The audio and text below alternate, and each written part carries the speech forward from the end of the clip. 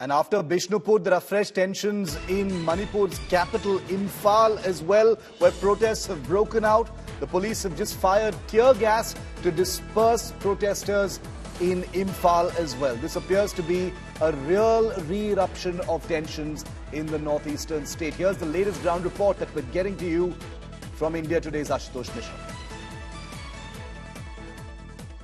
While tension escalating in the bordering areas of the valley and the hills, the situation remains tense even in the heart of the city, the capital, Imphal.